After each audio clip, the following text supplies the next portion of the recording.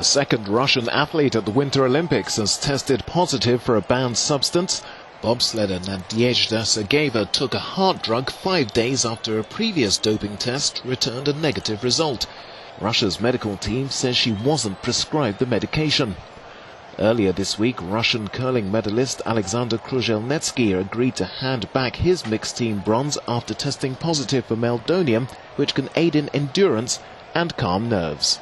It's a major blow for the nation's hopes of regaining its Olympic status and drawing a line under years of doping scandals.